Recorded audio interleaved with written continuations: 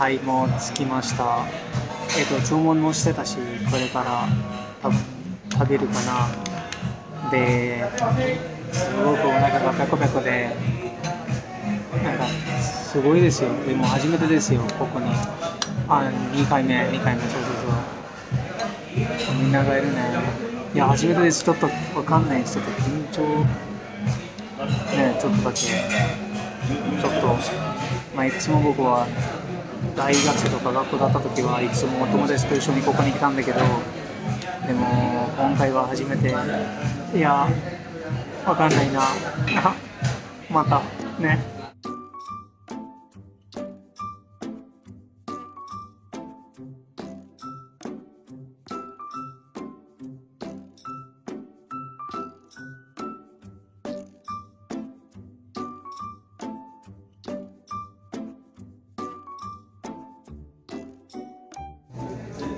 いや美味しそう。匂いがめっちゃやばいっすよ。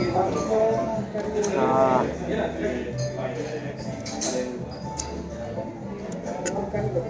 めっちゃ美味しいな。一人で来るときは、まあ、あなたが外交的とか内向的な人かわかんないけどでも一人で来るときはですねまあ多分人々によって違うかな。で私だったら多分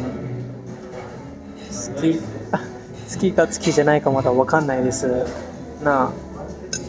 そうちょっと今暑くて。食べれない。いや本当に聞こえるの？いや本当に聞こえる僕は何言ってるか。聞こえる？マジ。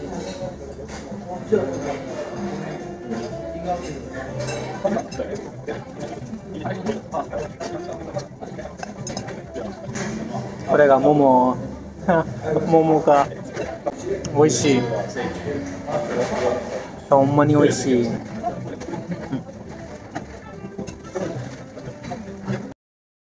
あのなんだっけな。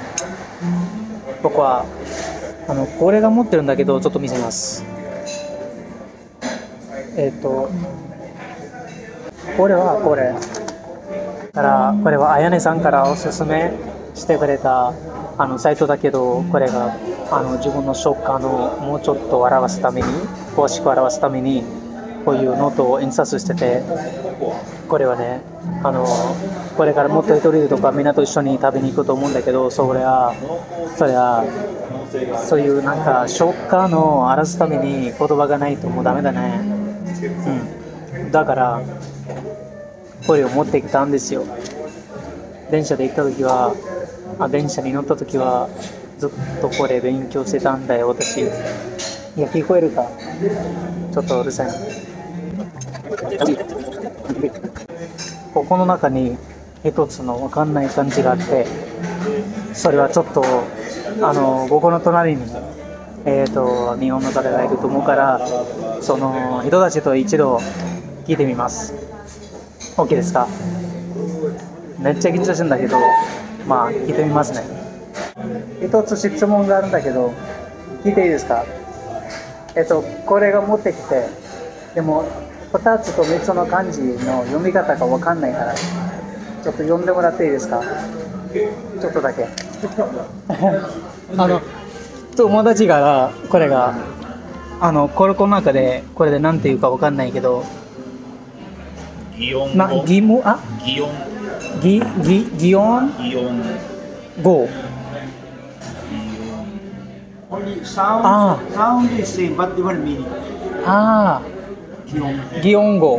Very dif- difficult ですね。擬音語って例えばだったらどんな例えばですか？例えうーん。例えばね、ばはい。出てこない。難しいですね。擬音日常側で使うんですか？擬音語って。ノーマルライフの使うんですか？のこへえ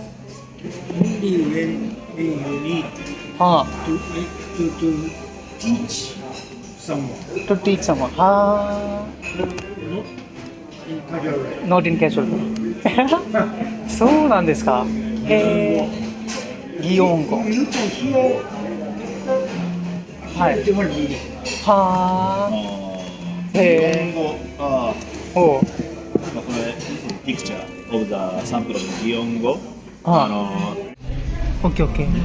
this is あの、sound sound is ザーザー。あはははは This is sample of。ザーザーとかニヤあニヤニヤーあーはいはいはい。わかりました。へえ翼を聞いたことがありますか？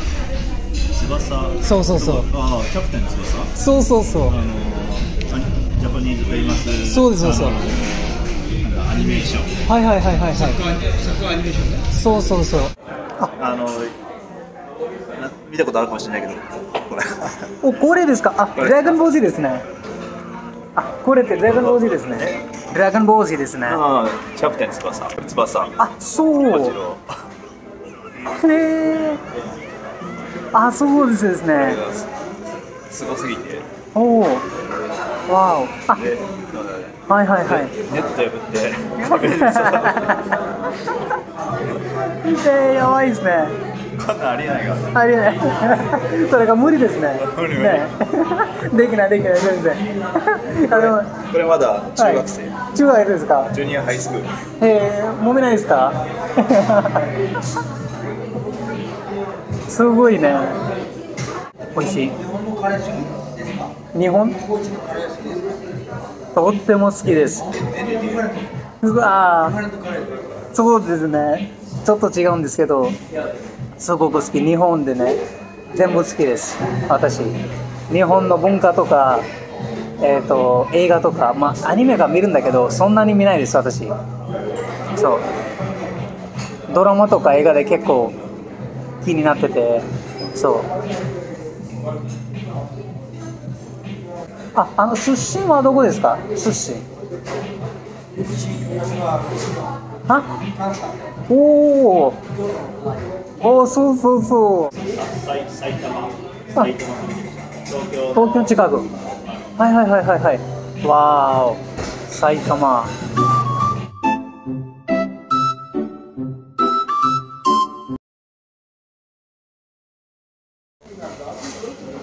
これがあってこれ。頑張ってね。ありがとうございます。頑張ります。もう終わりました。今何時だっけ？うん。7時半。午後の7時半です。そろそろ帰ろう。あこれこれチェックしてください。これ。これが持ってきたものなんだけど食感ならず擬音が英語。ここで海外旅行などで美味しいものを食べた時はトロトロだってなどの感動を英語で伝えたいことがあると思います。しかし海外のことが何カタカナだシーズル シーズルはとが英語では口から出てこないもの。まずはよく使う食感のシーズルワードは紹介したいと思います。いやでもすごいな。こういう言葉だけで読むとなかなか最高だと思いますね。あまり時間が無駄にならないようにこれがちゃんと勉強すると食べるときは自分の気持ちがちゃんと伝えるようになると思いますよね。これとかこれとかね。あとこれ。な。これもいいんだよね。でも漢字ばっかりですね。ちょっとわかんないな。いやちょっと待ってください。ここでシージルワードという食感である言葉が今よく耳にする。あ耳にするっていうのはなんか誰かからとかあのどこから聞いたことがあるみたいな感じでよく使うかもしれませんね。これが、まあ、僕もお友達から結構聞いたことがあるんでいやでもすごいですね。いやいやいやいいないいな。こんな感じ。最高。